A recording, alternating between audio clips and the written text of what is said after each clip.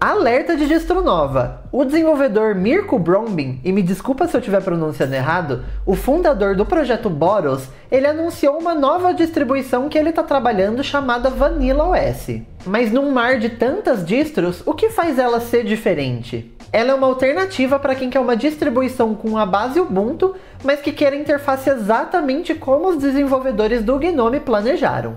Ela não vem com nenhuma modificação além do wallpaper e todos os aplicativos criados para o Vanilla OS seguem as guidelines de design do GNOME. Mas é claro que isso não é a única coisa de diferente na distro. Ela é mais ou menos imutável. Deixa eu te explicar. O sistema ele fica em modo de apenas leitura para garantir que nada seja modificado sem necessidade. Mas algumas outras pastas, como é o caso da pasta Home, ela continua com permissões de escrita, para que os usuários possam adicionar os seus arquivos e algumas aplicações funcionem sem grandes problemas. A grande diferença do Vanilla OS é que no momento que você precisa modificar alguma coisa no sistema, isso é muito simples de fazer. Com poucos cliques você consegue tornar o sistema modificável para você fazer os seus ajustes e depois você consegue colocar ele em modo de apenas leitura de novo. O Vanilla OS ainda está em beta, mas o primeiro lançamento estável deve acontecer agora em novembro. Ainda falando sobre distribuições, o Pop OS, uma das distros mais queridinhas do momento, está fazendo 5 anos de idade. Mas antes, vamos conhecer um pouquinho sobre a história da System 76. A System 76 foi fundada lá em 2005 com o objetivo de ser uma fabricante de hardware com foco justamente no código livre. Uma curiosidade é que o número 76 no nome da empresa é uma referência ao ano da Revolução Americana, já que a empresa também queria trazer uma revolução para o mercado de hardware e de open source. Lá no início da empresa ainda não existia o Pop OS, então ela vendia os seus computadores com uma outra distribuição. Eles chegaram a ponderar a possibilidade de utilizar o Red Hat Enterprise Linux, o Yopper e até mesmo o OpenSUSE, mas eles acabaram escolhendo o Ubuntu por conta da afinidade deles com o modelo de negócios da Canonical.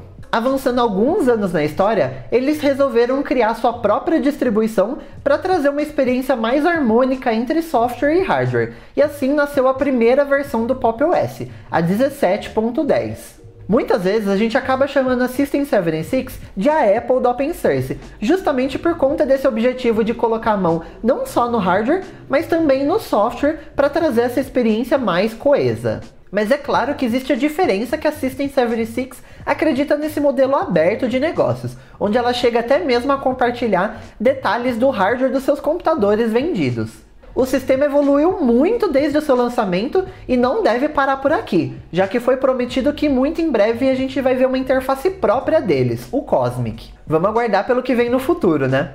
Se você já ouviu o Geocast da semana passada, você tá sabendo que essa semana não tem episódio. Se você ainda não ouviu, corre que dá tempo de ouvir. A gente está preparando algumas novidades bem legais para vocês e ele volta semana que vem em uma nova temporada, agora quinzenal e com um formato ainda melhor para vocês. Enquanto isso, que tal maratonar os episódios anteriores? E falando em podcasts, um dos principais aplicativos que você pode usar para ouvir o Geocast é o Pocket Casts.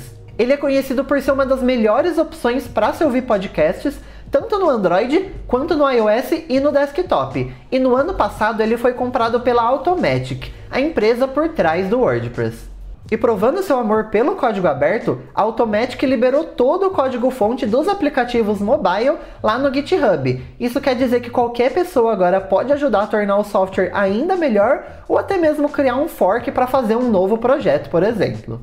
Essa semana no mundo da tecnologia anda bem turbulenta. A principal polêmica é a compra do Twitter pelo Elon Musk, que foi finalizada na sexta passada. Em menos de uma semana, várias novidades já foram aplicadas.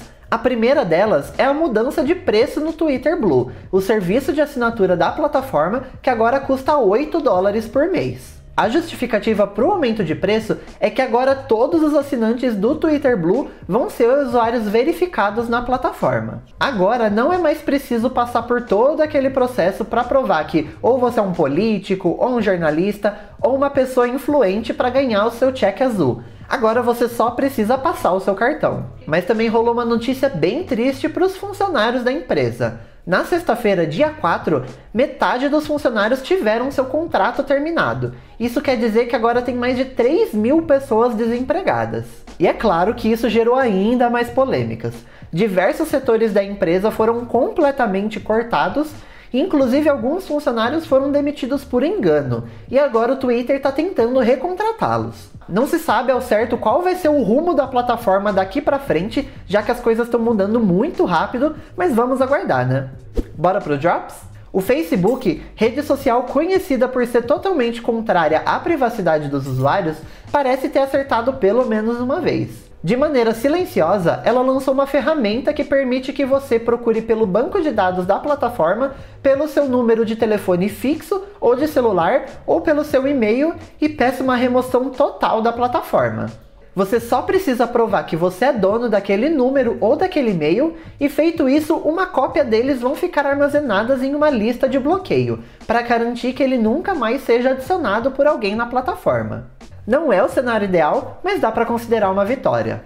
Mas quem segue garantindo vitórias é o OBS. A mais nova é que a AMD agora faz parte de um seleto grupo de empresas que apoia financeiramente o software. Ela agora faz parte do Tier Diamante, o que garante que todo ano ela vai doar pelo menos 50 mil dólares para garantir o desenvolvimento do software. No mesmo nível, a gente encontra a NVIDIA e o Stream Elements. E o nível Premier, que é o nível mais alto, tem empresas como Twitch, Facebook, YouTube e Logitech. A Samsung é a maior empresa no mercado de smartphones Android. Por padrão, ela traz um navegador próprio instalado, o Samsung Internet, que é baseado no Chromium. Mas para quem utiliza bastante o recurso de favoritos e está no desktop também, isso pode se tornar um problema. Para evitar que os usuários simplesmente troquem por uma alternativa, como é o caso do Google Chrome, a Samsung lançou uma extensão para navegadores baseados em Chromium que vai garantir a sincronização desses favoritos. É só instalar essa extensão e logar com a sua conta da Samsung que todos os favoritos vão ser mantidos sincronizados. O Katana Zero é um jogo de plataforma e ação com uma pegada neo-noir. E nesse jogo você controla um assassino com amnésia que precisa desvendar o próprio passado. Esse jogo ele tem uma pegada mais adulta e traz bastante violência e gore, então fica o aviso caso você seja mais sensível a isso. Mas para quem tá tranquilo com isso, esse jogo tem uma história sensacional e tá com 40% de desconto, saindo por menos de 18 reais ele roda através do Proton e está com ranking Platinum lá no ProtonDB. E se você quiser receber ainda mais notícias do que aconteceu no mundo da tecnologia e do open source, é só você se inscrever lá na nossa newsletter, em diolinux.com.br/newsletter. Aqui do lado você confere o DioLinux News da semana passada, onde a gente falou sobre o Thunderbird, que em breve deve receber um redesign completo da interface. Eu te vejo semana que vem e até mais!